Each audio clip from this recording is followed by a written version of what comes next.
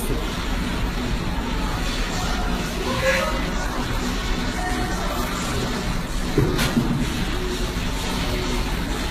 What up, what up, what up, Peak Performance English Academy? How are you guys? Ah, já perceberam que eu sempre posto vídeo lá na academia, eu treinando? Por que, que eu faço isso? Pra me achar? Pra mostrar que eu tô fortinho? Hein?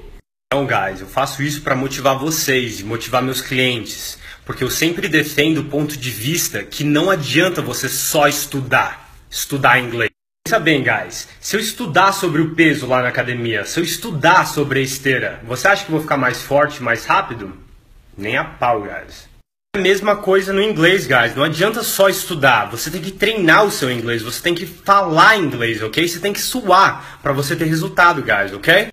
Isso que eu posto, guys, para mostrar que tudo é possível, apesar de eu ser um palito, tipo, as pessoas falavam, Bruno, você nunca vai ter resultado, sua genética é assim, nananã, nananã. Vocês que acham que tem língua presa, que não consegue falar the, é possível sim, guys. Com treino, a gente consegue conquistar qualquer coisa que a gente quer, ok? Não deixe a sua mente te limitar. Com isso dito, guys, vamos lá, vamos para a sacada de inglês de hoje. Vamos treinar um pouco nosso inglês.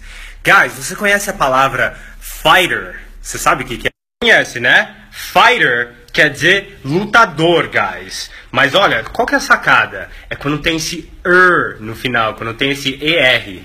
Então, qual que é a importância desse ER, guys? Eu vou passar aqui para vocês uma sacada que vocês vão aprender várias palavras de uma vez só. Então, focus. Guys, esse ER é o autor do fato ou do verbo. Por exemplo, to fight é lutar. Então, fighter é lutador. Só mais um exemplo, guys. To sing é cantar. Então, singer é cantor ou cantora, porque no inglês não tem sexo. Alguns exemplos para vocês associarem bem, guys. Olha só: player, painter, thinker, dreamer. Entenderam a teoria, guys? Então, o que está em verde é o verbo, mas o ER vai ser o autor do fato. Sacaram? Aí, guys. Simples, né? Não, tô zoando. Tem uma pegadinha, guys. Tem outras palavras que tem esse er no final, tipo stronger.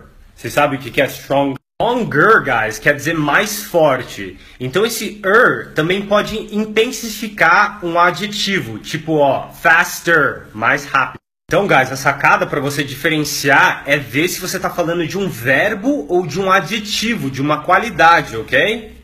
Fiquem ligados aí no Snap e no Face, porque eu vou mais a fundo nessas sacadas do adjetivo mais o er amanhã. Você sabe a diferença de stronger e strongest? Enquanto isso, guys, don't waste your time, não desperdice seu tempo. Acesse as sacadas lá no Face e vai treinando seu inglês, série por série, vídeo por vídeo, a gente vai ficando mais forte essas sacadas estiverem te ajudando de alguma forma, guys, entra lá no Face, comenta, compartilha.